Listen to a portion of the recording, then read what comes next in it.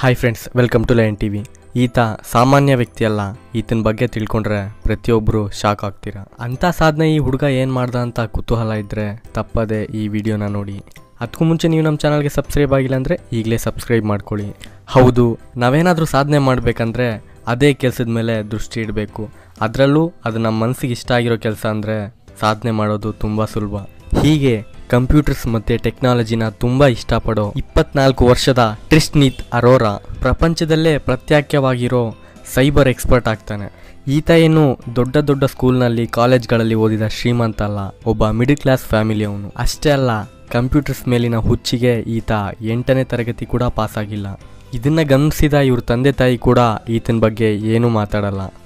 ಕೇವಲ ಹನ್ನೊಂದು ವರ್ಷ ಇರಬೇಕಾದ್ರೆ ಈತ ಈ ಕಂಪ್ಯೂಟರ್ ಪ್ರೊಸೆಸಿಂಗ್ ಬಗ್ಗೆ ಹಲವು ಸಂಶೋಧನೆಗಳನ್ನ ಶುರು ಮಾಡ್ತಾನೆ.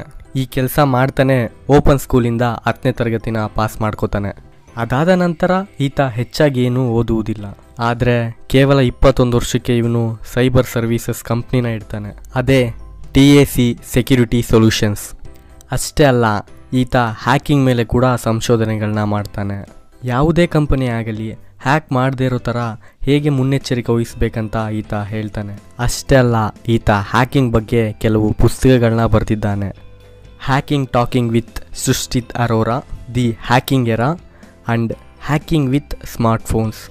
ಅದು ಅಲ್ಲದೆ ಈತನಿಗೆ ಇಪ್ಪತ್ತೆರಡು ವರ್ಷ ಇರಬೇಕಾದ್ರೆ ಈ ಪುಸ್ತಕಗಳನ್ನ ಬರೀತಾನೆ. ಅಷ್ಟೇ ಅಲ್ಲ, ಎಷ್ಟೋ ಕಂಪನಿಗಳು ಹ್ಯಾಕ್ ಆಗಬಾರ್ದಂತ ಇವನನ್ನು ಹ್ಯಾಕಿಂಗ್ ಅಡ್ವೈಸರ್ ಆಗಿ ಇಟ್ಕೊಂಡಿದ್ದಾರೆ. ಅದರಲ್ಲಿ ರಿಲಯನ್ಸ್ ಕೂಡ ಒಂದು. ಇಪ್ಪತ್ತೈದು ವರ್ಷ ಕೂಡ ಆಗದೇ ಇರೋ ಈ ಹುಡುಗನ ಸ್ಪೀಚ್ ಕೇಳೋಕ್ಕೆ ಎಷ್ಟೋ ದೇಶದ ಸಂಸ್ಥೆಗಳು ತುದಿಗಾಲಲ್ಲಿ ನಿಂತ್ಕೊಂಡಿದ್ದಾವೆ ನೋಡಿದ್ರಲ್ಲ ಫ್ರೆಂಡ್ಸ್ ಮನ್ಸಿದ್ರೆ ಯಾವುದೇ ಸಾಧನೆ ಮಾಡೋಕ್ಕೆ ಕಷ್ಟ ಅಲ್ಲ ಅಂತ ಈ ಹುಡುಗ ಪ್ರೂವ್ ಮಾಡಿದ್ದಾನೆ ಈ ಹುಡುಗನ ಸಾಧನೆ ನಿಮ್ಗೆ ಇಷ್ಟ ಆದರೆ ಸೂಪರ್ ಅಂತ ಕಮೆಂಟ್ ಮಾಡಿ, ಹಾಗೂ ಈ ವಿಡಿಯೋನ ಲೈಕ್ ಮಾಡಿ, ಈಗಲೆಲ್ಲ ಕಡೆ ಶೇರ್ ಮಾಡಿ.